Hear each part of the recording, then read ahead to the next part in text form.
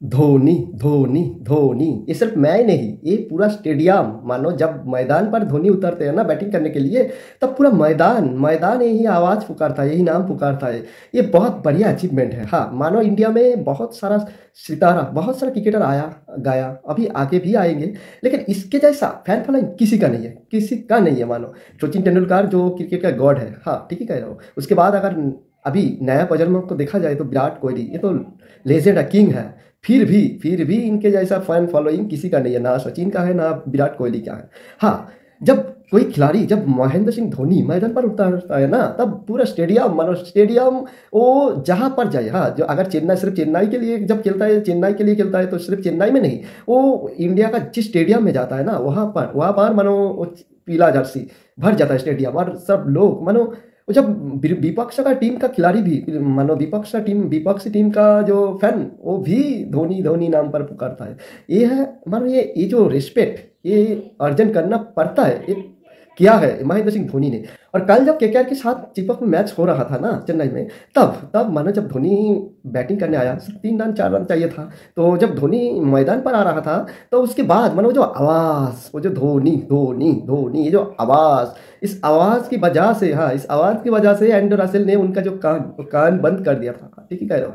गुरु ये ठीक ही कह रहा हूँ, उनका कान बंद कर दिया। मानो एक बार सोचिए, और तब जो आवाज़, वो 125 डेसिमल के ऊपर चला गया। हाँ 125 डेसिमल मानो कितना आवाज़ है। तो एंडो रसल ने कान बंद कर दिया। मानो इतना आवाज़ और किसी के लिए, किसी खिलाड़ी के लिए नहीं हुआ है। आज तक क्रिकेट हिस्ट्री में हाँ जहाँ जाते हैं, मानो चेन्नई में जाते हैं तो चेन्नई में खेलते हैं तो चेन्नई में इतना आवाज़ होता है। जब हैदराबाद गया, तब भी इतना आवाज़, जब मुंबई में जाएँगे, तब भी इतना आवाज़ है।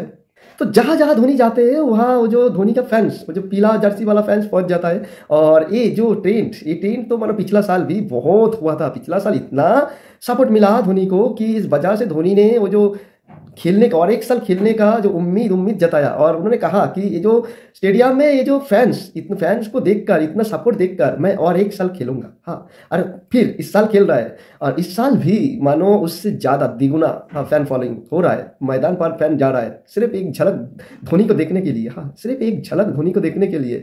फैंस पागल हो रहा है, मन मिट रहा है। ये जो फैंस ये जो फैंस ये फैंस मानो इनके जैसा कोई नहीं, इनके जैसा फ़ैन फॉलोइंग किसी का नहीं है। तो और सब खिलाड़ी भी बहुत बातचीत करता है उनके साथ और बहुत मानो वो जो मोटिव मोटिवेशन पा रहा है, मिल रहा है नया खिलाड़ी को। और नया खिलाड़ी जाकर एम एस धोनी के साथ सीधा मानो ड्रेसिंग रूम में खेल, हिस्सा ले रहा है और विपक्षी टीम का जो नया खिलाड़ी, वो भी आकर धोनी के साथ हाथ मिला रहा है, बात कर रहा है हैंडशेक कर रहा है हाथ कर रहा है, ये सब बहुत बढ़िया होता है। ये जो अनुभव, ये जो नया खिलाड़ी के लिए, नया खिलाड़ी को बहुत प्रेरित करेंगे। हाँ ठीक ही कह रहा हूँ। और ये जब नया खिलाड़ी, किसी नया खिलाड़ी ने ये जो धोनी के लिए रिस्पेक्ट जब देखेंगे ना, वो अपना चक्कुश करेंगे तो उनका भी मानो धोनी जैसा बनने का जो इंस्पायरेशन वो मिलेंगे। हाँ और देश के लिए खेलने का इंस्पायरेशन मिलेंगे। तो ये बहुत बढ़िया हुआ है, बहुत बढ़िया टीम चल रहा है। मैं भी धोनी का हार्ड फ़ैन हूँ तो मुझे पता है ये धोनी के लिए कितना मेरा दिल पुकारता है तो सब फैंस को भी वही हाल है।